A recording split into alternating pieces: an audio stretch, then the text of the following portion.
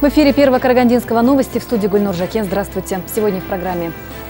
Почему Центральный парк культуры и отдыха Караганды опустел, а предприниматели написали письмо президенту, вы узнаете через несколько секунд. Так мы для них все делаем, хотя народ, государство ничего не делает они. Они все воруют только. Пришла весна, а с ней и аллергия. Как бороться с этой проблемой, расскажут наши корреспонденты. На рассвете в 5 часов утра необычный десант высадился на железнодорожном вокзале Караганды. Центральный парк культуры и отдыха на грани закрытия. Нас оттуда выгоняют. С такой жалобой к нам обратились предприниматели, которые работали в парке не один год. Они написали жалобы в прокуратуру, Хакимат и даже самому президенту. Подробности в сюжете Аймамриной. Сейчас парк пуст, кафе, аттракционы и тиры закрыты. По предписанию Акимата их количество сократится с 200 до 60, а предпринимателям придется пройти конкурс, чтобы отстоять свои места. Предприниматели не согласны с таким решением Акимата. По их словам, раньше им без труда удавалось заключить договоры с коммунальным предприятием управления парками, культуры, отдыха и скверами. Однако в этом году их сезонный бизнес по продаже мороженого, сладкой ваты, а также кафе и некоторые аттракционы на грани банкротства. Ведь на дворе уже почти май, а они до сих пор не могут приступить к работе. С 1 по 9 мы можем чуть-чуть заработать. Остальное все лето будет дождь, может град будет, может я заработаю, а может я вообще не заработаю. 10 дней осталось первом В прошлом году с 1 по 9 был дождь, мы почти ничего не заработали. А в этом году, получается, мы вообще на нуле будем сидеть. Еще одна бизнес-леди Марина Джамгельдинова рассказала свою историю. Год назад она взяла кредит на 7 миллионов тенге и расширила свой бизнес в парке, отстроив кафе. Женщина рассказала, что постоянно следует предписаниям Акимата. Она следит за чистотой, кормит на праздники сирот и всячески способствует порядку. А теперь на грани разорения, потому что место, где расположено кафе, выставлено на конкурс. Так мы для них все делаем, хотя народ, государство ничего не делает они. Они все воруют только. И таких, как она, немало. Сегодня бизнесмены из парка собрались в Евразийской ассоциации предпринимателей. Каждый высказывался о наболевшем.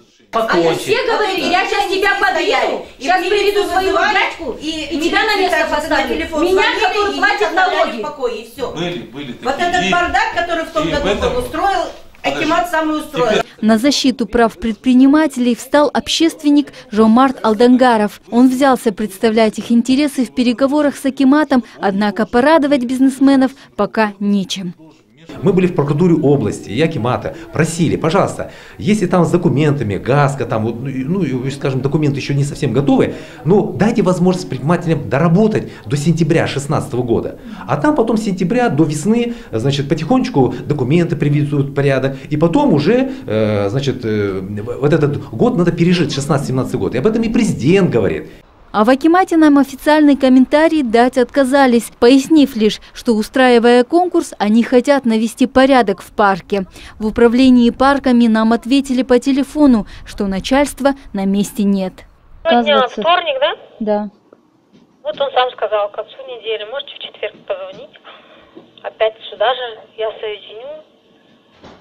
Вот Ну сейчас он в офисе, можно хотя бы подъехать с ним лично и то он сейчас в Акимате. Он с утра в Акимате был. Он сейчас опять в Акимате. Судьба предпринимателей висит в воздухе. Пока чиновники размышляют, работники торговли кричат об убытках. Их письма в прокуратуру и аппарат президента пока не дали результата. А жители города, очевидно, этим летом не смогут полакомиться любимым мороженым. Аймамрина Исламбек Успан, Александр Цирикидзе, Первый Карагандинский. Появились новые подробности о парне, который держал в страхе жителей 45-го квартала, грозясь спрыгнуть с балкона четвертого этажа и порезаться. По информации ДВД области, парни подозревают в совершении серии квартирных краж в Бухаржурауском районе и грабежа в Алматинской области. На его след полицейские вышли, задержав подельников, которые тут же сдали своего компаньона. В розыск Даурена объявили полицейские Алматы по категории «нелегал». Также установлено, что парень – уроженец города Кукшетау. Когда оперативники постучались в его дверь и сказали, что из полиции, им никто не открыл. За закрытой дверью была слышна какая-то возня. Оперативники поняли, что подозреваемый может попытаться скрыться и разделились. Один караулил около окна. Даурен залез на крышу и побежал в противоположную сторону дома. Квартира, на чьем балконе он остановился и повис, пострадала. Парень разбил стекла балконной рамы. Однако пока в полицию не никто не обращался. Вместе с подозреваемым в квартире проживали еще трое. Их личности и причастность к преступлениям устанавливаются. Подозреваемого забрали в Тельманский отдел полиции. Сейчас он дает показания. Очевидцы событий предполагают, что парень не собирался прыгать. Он просто играл на публику. В случае, если его вина в совершении ряда квартирных кражей и грабежа будет доказана, ему грозит солидный срок. Впереди небольшая реклама, после продолжим выпуск. Оставайтесь с нами. Спонсор показа Galaxy Group, производитель продукции торговых марок Алюгал, Галвин, Херкюль. Галвин. Оконные системы А-класса. Долговечность 60 лет. Галвин. Морозостойкий, надежный, прочный. Для тех, кто ценит качество.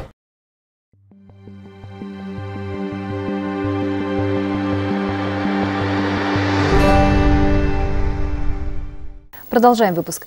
Возмущение карагандинцев плохой дорогой на привокзальной площади дошло до чиновников.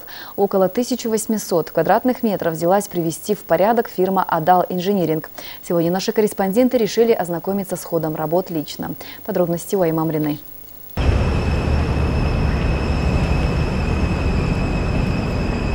Смотреть без слез на дорожное полотно у привокзальной площади невозможно. Яма на яме, колдобины не оставляют автолюбителям шансов не повредить ходовку. Ремонт здесь уже начали, правда пока только ямочный.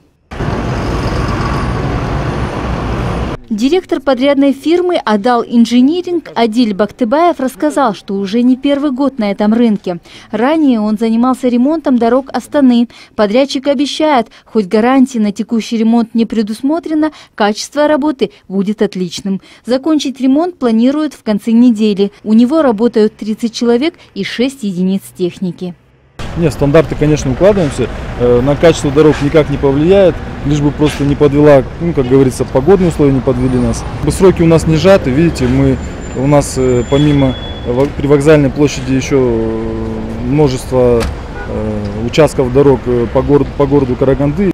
Также Адал Инжиниринг планирует отремонтировать улицы Гоголя, Алиханова, Лободы, Охотская, Степная, Жанибекова, Таттимбета и проспект Строителей.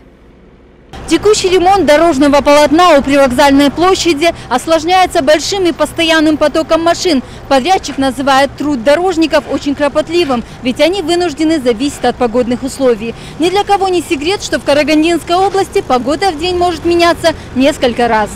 Но тем не менее за ремонтом дорог будут следить. В первую очередь контроль будут вести сотрудники городского акимата. По их словам, всего на ремонт дорожного полотна выделено около 160 миллионов тенге. Будет отремонтировано порядка 60 тысяч квадратных метров, 119 улиц в Казбекбийском районе и 32 в Октябрьском. Также чиновники обнадежили информацией, что срок гарантии продлен с двух до трех лет.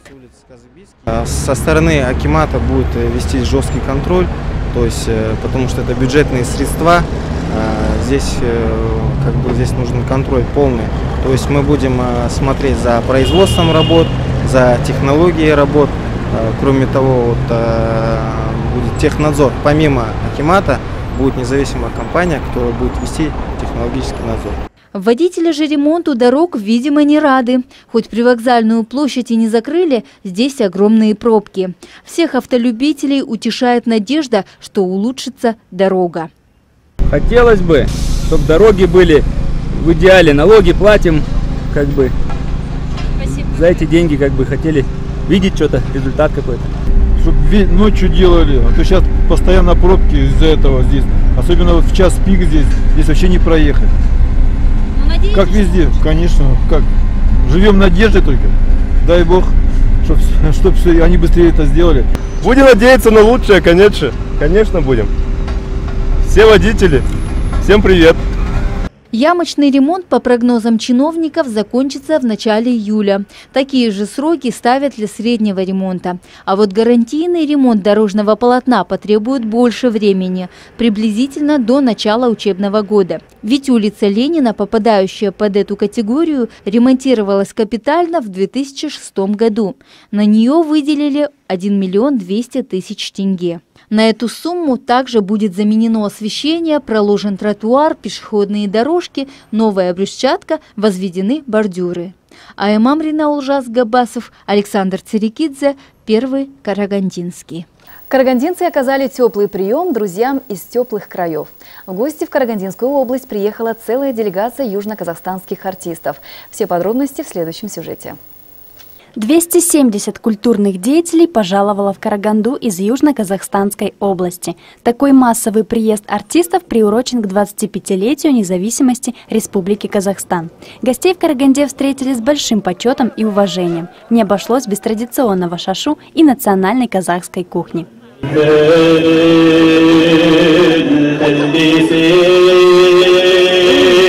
Караганду пожаловали творческие люди из областной филармонии имени Шамши Калдаякова, Казахстанского академического драматического театра имени Жумата Шанина, Шимкентского цирка и передвижного музея. Резко континентальных климатических условий южане не боялись. Говорят, ради любимого дела можно и куртки на время надеть. Веселье артистов не закончилось с выходом из вагонов, где они и пели, и танцевали, ведь на вокзале их ожидал приятный сюрприз.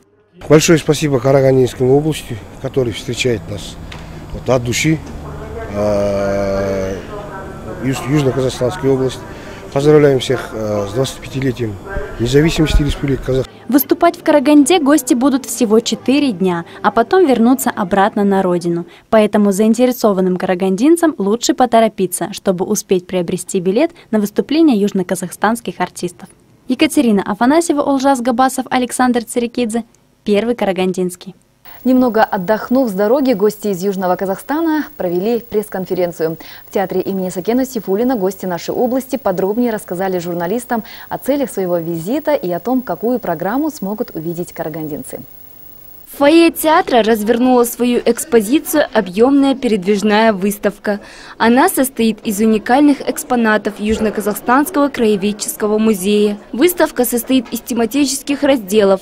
Там можно увидеть уникальные природные объекты западного Тяньшаня, особенности национального заповедника Аксужа-Баглы. Можно познать всю историю края, увидеть макеты курганов, крепостей и памятников. Много материала о развитии Южно-Казахстанской области в период независимости Республики Казахстан. Среди экспонатов в глаза бросался меч последнего хана Кинисары и посуды, из которой ел сам Кажимукан Мунайтбасов. Особое место занимают архивные документы и фотографии известного политического и общественного деятеля Турара Раскулова, сделавшего неизмеримо много для процветания страны. Э, на проведении Дней Южно-Казахстанской области, Карагандинской области участвует 270 человек. Это 59 человек из э, цирка, 58 человек это представляет академический театр имени Шанина. Завтра они представят спектакль «Кузак Шембеда». На пресс-конференцию собрались журналисты всех СМИ города. Столь массовый и необычный десант заинтересовал всех. Приехали из Южно-Казахстанской области э, областная филармония имени Шамшкалда Яхова, э, Казахский академический драматический театр имени Жумата Шанина э, и Оңтүстік цирк. В Чемкенте, как вы знаете, четвертый цирк в Казахстане.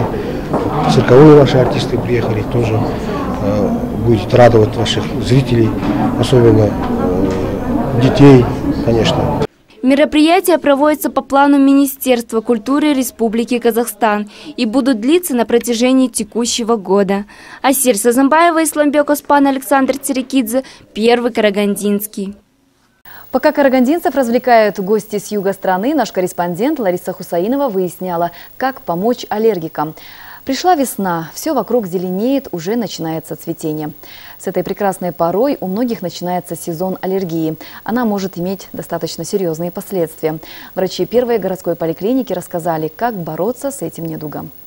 Камила Кожахметова страдает аллергией круглый год. В каждом сезоне у нее различные виды этой болезни. Первые признаки аллергии начались еще в 2006 году, но диагноз поставили только в 2008. Ей всего 15 лет, но она хорошо знает разные медицинские термины, виды лечения и помнит наизусть все необходимые препараты, а их больше десятка.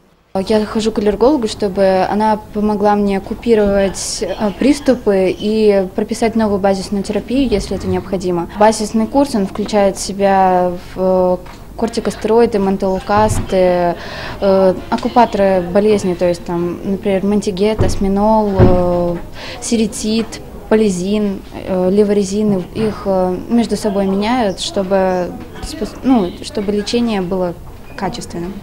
У 15-летней Камилы аллергия на различные медикаменты, пыль, полынь и цветы. Каждый сезон проявляются новые симптомы. Врач-аллерголог Наталья Терентьева рассказала, что нужно делать, если у людей появились первые признаки аллергии. Нельзя заниматься самолечением. Необходимо пройти аллергодиагностику, выявить, на какие травы у больного аллергия и провести специфическую иммунотерапию. Во время полиноза мы э, принимаем препараты для того, чтобы прекрасно себя чувствовать. Естественно, нужно обязательно принимать ежедневно душ, менять одежду, на окна э, вешать мокрую марлю, чтобы задерживать пыльцу, чтобы она как можно меньше попадала э, в дом, где вы живете. Так, дальше, если у кого полинос, желательно не выезжать в степь. А вообще самый лучший вариант во время полинации виновного аллергена просто уезжать в другие климатические условия. С аллергией шутки плохи. Она может иметь достаточно серьезные последствия, вызывая как легкие проявления конъюнктивита или ринита, так и развитие сезонной пыльцевой бронхиальной астмы. Если аллергический процесс пустить на самотек, оставить его без контроля, а многие пациенты обычно так и делают, может возникнуть уже более серьезная болезнь – бронхиальная астма. По словам врача, по сравнению с прошлым годом, на данный период количество аллергиков увеличилось на 10%. Врачи настаивают, при первых проявлениях аллергии обращаться к специалистам. Лариса Хусейнова, Исламбек Оспан, Александр Цирикидзе, Первый Карагандинский продолжении выпуска «Сладкая тема». Впервые в Караганде откроется выставка шоколадных изделий знаменитого шоколадье Николая Попова. На сегодняшний день на изделия из шоколада смогли посмотреть уже более 500 тысяч человек из 50 городов мира. Наша съемочная группа побывала на пресс-конференции с шоколадье и даже приняла участие в творческом мастер-классе. Вес этой картины «Беркут» 3 килограмма, но только нарисована она не обычными красками, а настоящим вкусным шоколадом. Таких экспонатов здесь порядка 300. И самое время познакомиться с человеком, который своими руками воспроизводит такую красоту. Николай Попов – знаменитый мастер шоколадье. Мужчина уже 20 лет занимается тем, что делает из шоколада различные композиции, скульптуры, инсталляции. В Казахстане Николай Попов работает уже около года. Выставки прошли в Алмате, Шимкенте, Атырау и Астане. На выставке в Караганде будут представлены порядка 300 шоколадных произведений искусства, общим весом более 900 килограмм чистого шоколада и марципана. Конечно, работать с шоколадом сложно, признается автор, ведь продукт капризный, зависит от окружающей температуры и многих других факторов.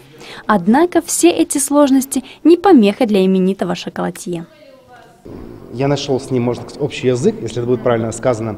И, наверное, у меня очень хорошо получается быстро делать интересные вещи из шоколада. Поэтому как бы я им занимаюсь, и уже другой После пресс-конференции Николай Попов провел небольшой, но очень познавательный мастер-класс для воспитанников детского дома Таншалпан. У присутствующих была возможность научиться творить шоколадные чудеса своими руками. Анастасии Салиховой всего 8 лет, но даже для нее сложности в лепке из марципана не возникло. Мастер шоколадье объяснил все предельно просто и доступно. Мне понравилось сегодняшнее мероприятие. Тут такие творения, я такие творения никогда не видела из шоколада. И мы сегодня делали такую конструкцию «Собачка».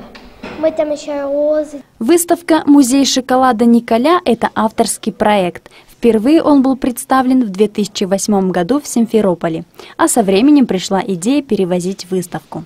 В Караганде выставка начнет работать с 23 апреля и продлится до 15 мая. Все желающие смогут полюбоваться шоколадными экспонатами в стенах Карагандинского областного историко-краеведческого музея. Екатерина Афанасьева, Жаксулык Нуртай, Александр Церекидзе. Первый Карагандинский.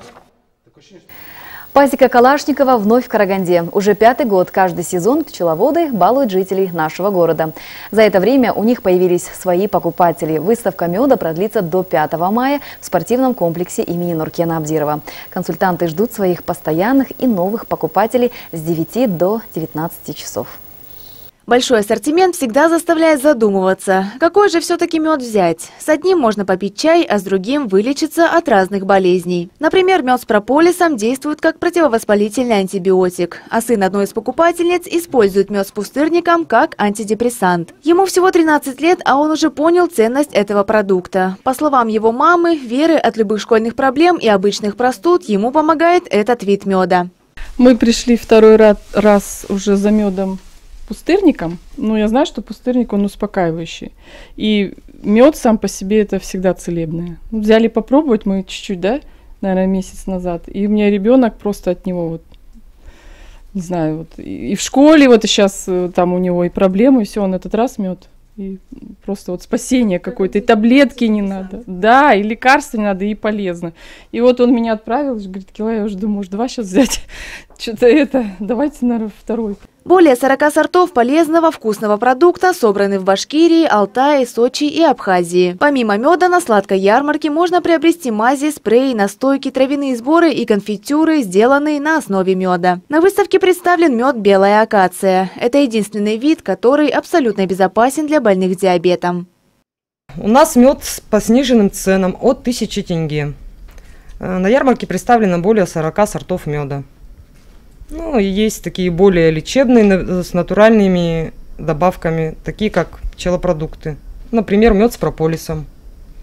Это природный антибиотик, лечит противовоспалительные заболевания, гастрит, язвы желудка, бронхит, ангину. Мед пасеки Калашникова знают по всему Казахстану. В нашем городе люди с нетерпением ждут, когда сладкая ярмарка вновь посетит шахтерскую столицу. У каждого вида свой вкус и свое предназначение. Гулем Жерембекова уже не в первый раз приходит за полезным продуктом. Она покупает не только для себя, но и для родственников. Нравится обслуживание, проконсультируют, покажут, объяснят, попробовать, как говорится, дадут. Ну, в принципе, я довольна. Какой мед вы брали и для чего? Ну, мед я брала ну, много видов разных. Вот от давления хороший мед, мне понравился. Малиновый просто даже очень вкусный. Их, их много, всех не перечислишь, так что лучше прийти, наверное, и самим попробовать. Для каждого покупателя найдется свой вид. Пасека Калашникова привезла мед, с которым можно повысить иммунитет и хорошо омолодиться. Сладкий напиток с маточным молочком восстанавливает обменные процессы и улучшает работу сердца. Опытные продавцы-консультанты помогут вам выбрать подходящий вид меда. Напомним, ярмарка продлится до 5 мая в спортивном комплексе имени Нуркена Абдирова. Лариса Хусейнова, Ужас Габасов, Александр Церекидзе, Первый Карагандинский. О новостях на сегодня все. Если у вас есть интересная информация, звоните нам по телефону 42 06 49 и смотрите наши новости на сайте канала. Всего доброго. Аман Салволнстар.